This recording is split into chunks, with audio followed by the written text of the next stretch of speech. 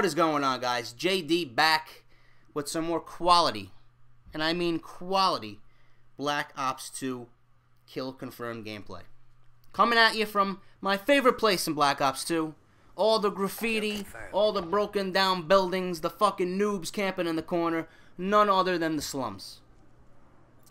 But after playing this match, guys, last night, this was last night's gameplay, or one of the games I played last night. I have honestly one thing to ask all of you listening to me. One thing. Where are those little fucking kids who don't know to, how to even aim their gun, never mind shoot a moving target? Where are those guys? Where are these newbies who are not even in the first prestige yet? Those guys who barely graduated boot camp or combat training. Where are those guys who are still stuck using the default custom classes provided by Treyarch in multiplayer? Those fucking Christmas noobs. Christmas noobs, where are they? I can't find them. Shut out.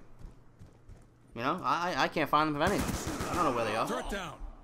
The kids who are all excited, you know, Christmas Eve, leaving Santa cookies on the living room table.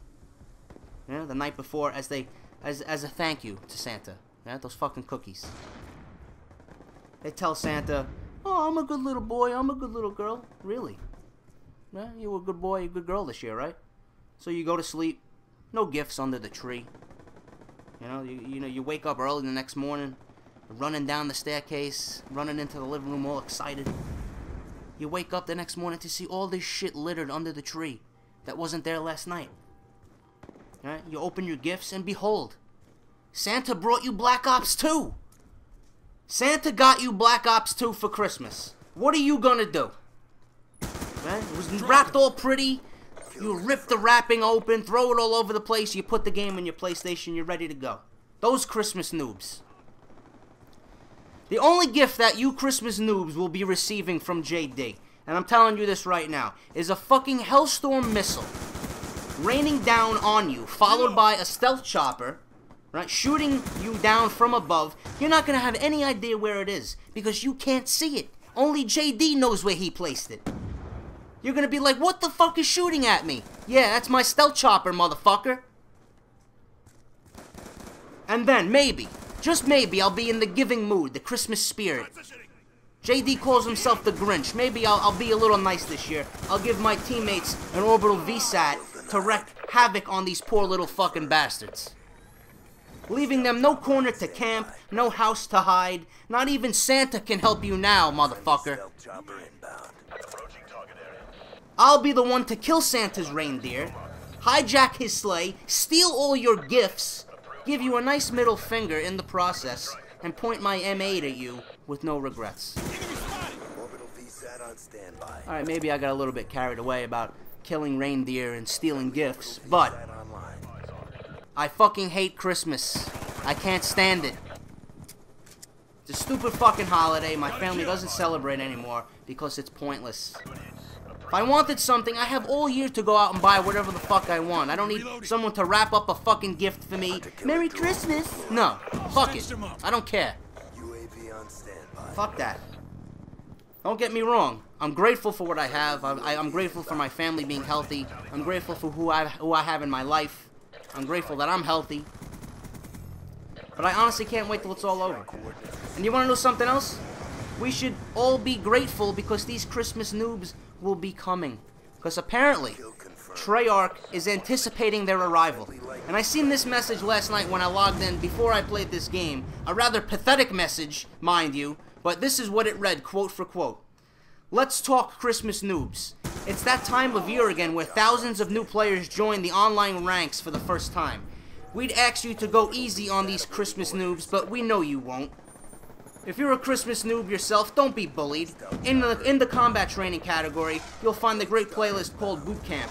This is the best place for a player like you to get up to speed on the game and all it has to offer. You can even rank up to your first 10 levels playing against both human and AI-controlled opponents. Are you fucking kidding me, Treyarch? Really? You want to know what this message tells me? I'll tell you what it tells me. Number one, one of the things that this tells me is either someone who probably is the mastermind behind this game was a complete fucking scrub at Call of Duty to the point where he has to show sympathy to those who have no skill at Call of Duty and cater to these garbage ass players. Or Treyarch is sold out to the core Call of Duty player, like you and I. I mean, look at this gameplay. Why can't I have a few of these lobbies every night? Do you know what eases my mind at work or when I come home from work? Do you know what eases my mind? A beer will do it. A nice cold Guinness will ease my fucking stress. Several Guinness will do it even better. But, on top of that, you know what eases my stress when I hop on Black Ops 2 or whatever? Call of Duty. I want a pub stomp. I want to rape noobs. Friendly lightning strike I love competition. Don't get me wrong. I'm a very competitive guy. I hate losing, and I always, always try my best when put in a situation like that. But I think I've managed myself fairly well so far with Treyarch's bullshit skill-based matchmaking. But after a long day at work, all I want to do is drink a Guinness and pub stomp. It's good for the mind. It's good for the soul. It eases the stress on a hard-working guy like JD.